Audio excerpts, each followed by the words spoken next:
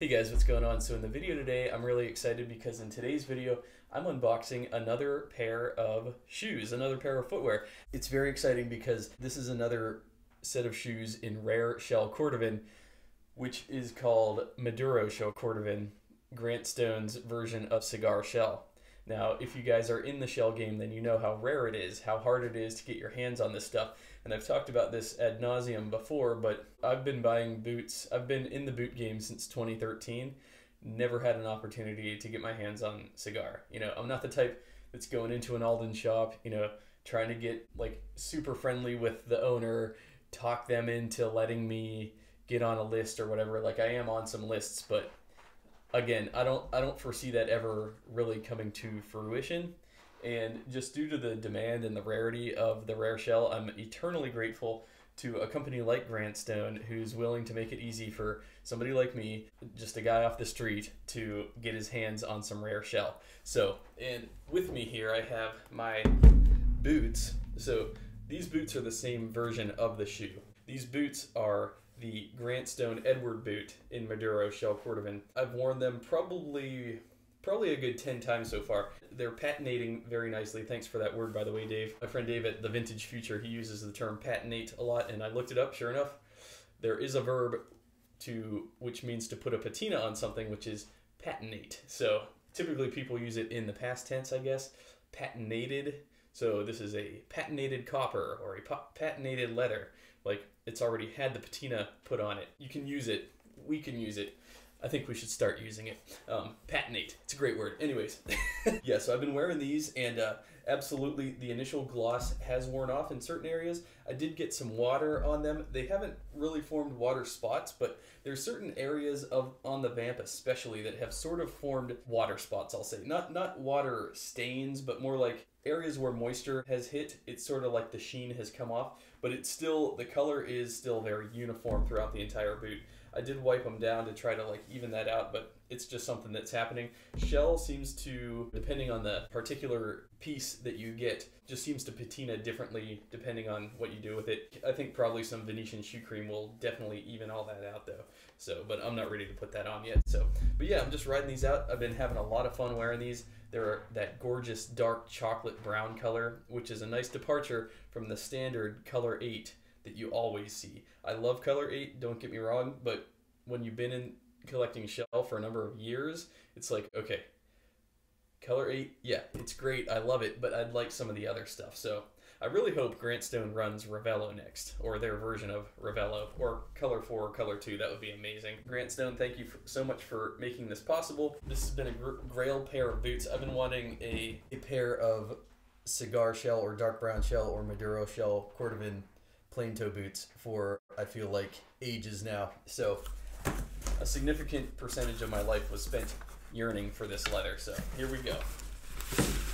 Let's open her up. Grant Stone has that real nice, convenient pull ring in their box now, which I love. I talked to Wyatt about that, gave him tons of praise for that because I just think that's one of the most ingenious ideas. Leo Plain Toe Maduro Shell, 42393, 8.5D.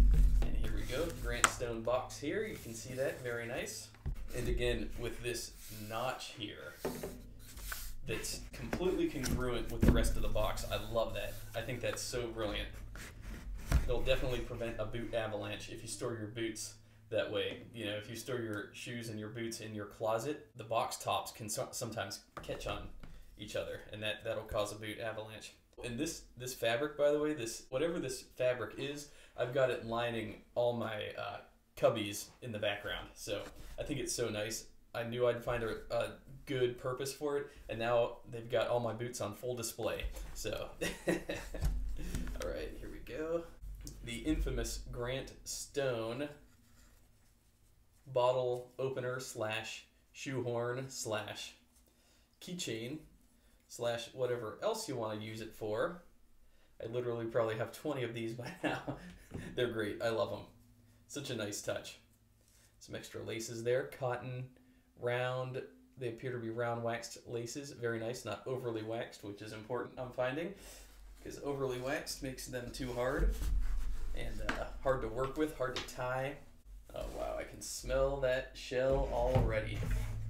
Now these, I'll probably really start wearing these in the springtime.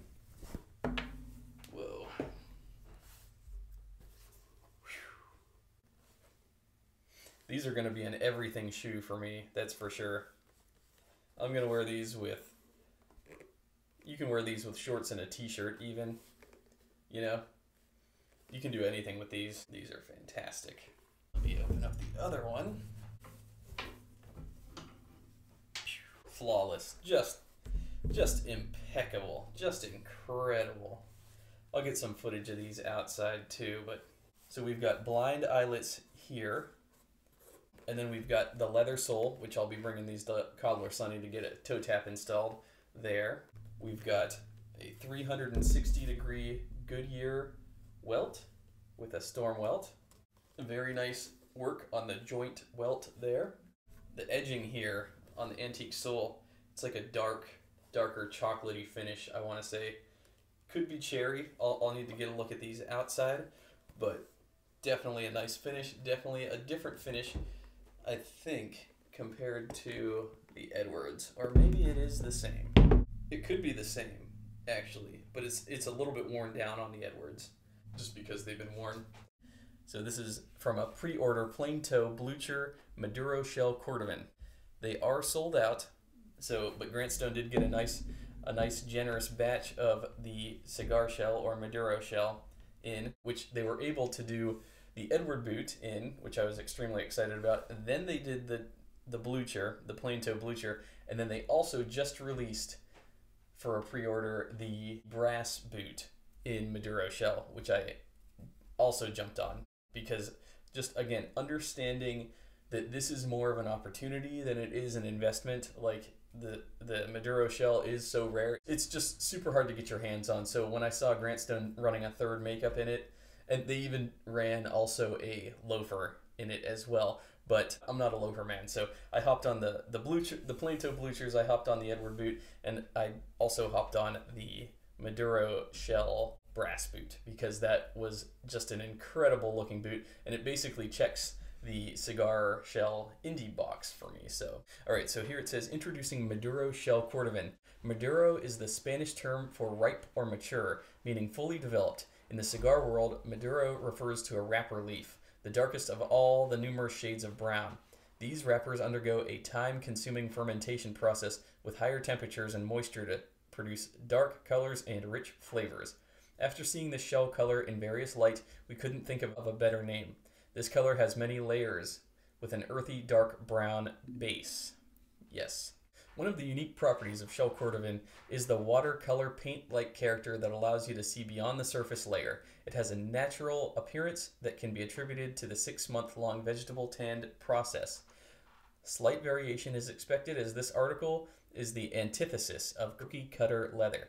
Shell also has a unique ability to mold to your foot without stretching, creating the ideal loafer material. All right, so on the Blucher, we've got, again, blind eyelets, which accommodate a much thinner round cotton lace. Compare that to the small antique brass eyelets. We've got five round brass eyelets here, three brass speed hooks here, and a much thicker flat cotton lace to go in there. Um, the welt is the same. So the welt on both items is a 360 degree Goodyear storm welt. The storm welt is this just this little flap, this little decorative flap that keeps water out, helps to keep water out. So both the edges on both items on the shoe and the boot are finished. And then obviously the soles are different. So on the Blucher, we've got a leather sole, which again I will have toe taps installed, but I'm, walking around on leather soles right now. It's an incredibly durable sole. Don't let the leather sole deter you from from jumping on leather soles because they're incredibly durable. And you know what the best thing about these is?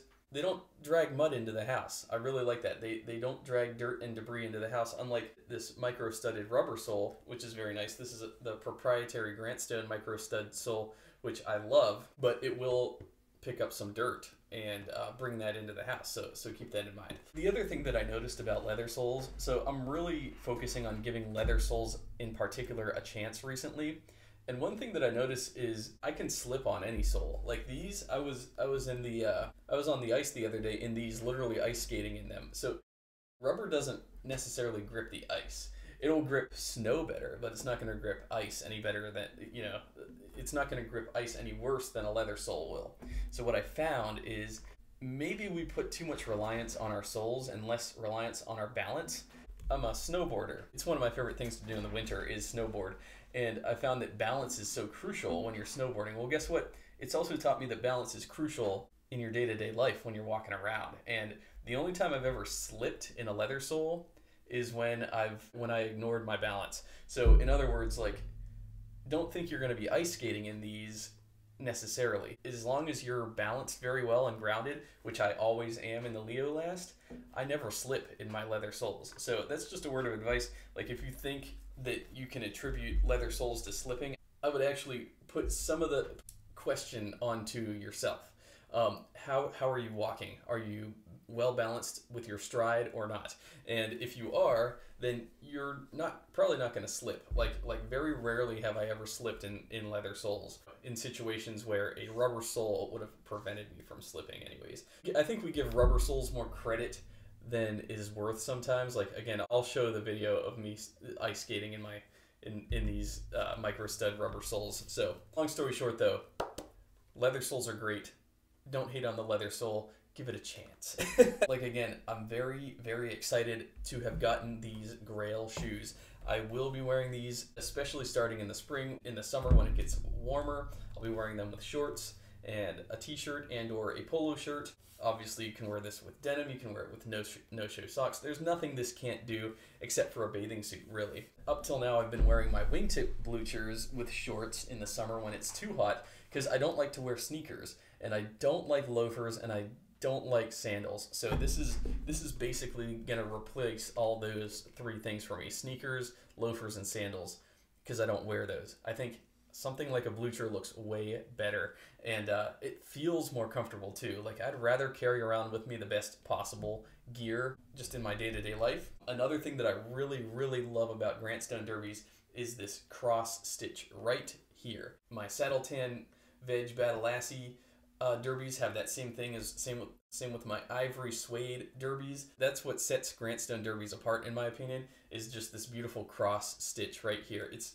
mostly decorative from what I can tell, but I think it's just a stunning little detail. It doesn't stand out so much, but when you see it, you really notice it. So I think that's that's really something, and they don't do that on their boots. They just do that on their derbies. So again, it just it just shows you how much attention to detail um, they place into the design of their footwear. I love it. I think it's got a real cool like heritage derby look to it, like almost an old world look about it. I don't know. It's hard to describe, but I I hate I hate to overly praise that cross stitch, but I really love it. I really think it lends such a cool aesthetic to the shoe. So anyways, yeah, so these are going to be getting a ton of wear this spring and summer for me specifically. I can't wait to start beating them up and wearing them in. The other thing that I want to mention about Grant Stone is I did just do that interview with Wyatt, and he dropped a lot of really good makeups that he has coming down the pike. And uh, one of them that I just jumped on yesterday is the Navy Chrome Excel diesel boot. I'm very excited about these because they actually ran the Navy Chrome Excel Derby a year or so ago, and it's got a really cool turquoise undertone, very attractive shade of navy Chrome Excel, in my opinion. And when I saw those, that plain that plain toe, that beautiful navy Chrome Excel, you know, sometimes I think I'm done with, with Chrome Excel, and to a large extent I am. Like I have a lot of black Chrome Excel, brown Chrome Excel, natural Chrome Excel, um, but I have hardly any navy Chrome Excel. Well, I have a pair of Alden tanker boots in navy Chrome Excel, and I have some Thorogood roofer boots in indigo Chrome Excel which are kind of more on the turquoise side. So I'm excited to get those in. So yeah, check out Grantstone's site. They have a lot of good new drops on there recently. They're also dropping some ostrich boots, which I don't think I'll be jumping on because they're just a little bit too loud for me. But I think they're probably the best rendition of an ostrich boot I've ever seen. So that said, I think that um, I think that ostrich is worth your consideration as well. So, so anyways, guys, thanks a lot for watching. Um, I'm on Instagram. You can follow me there. My username is AeroSurferLV. Um, let me know what you think of these derbies in the comments. Yeah, thanks a lot for watching, and I will see y'all in my next video.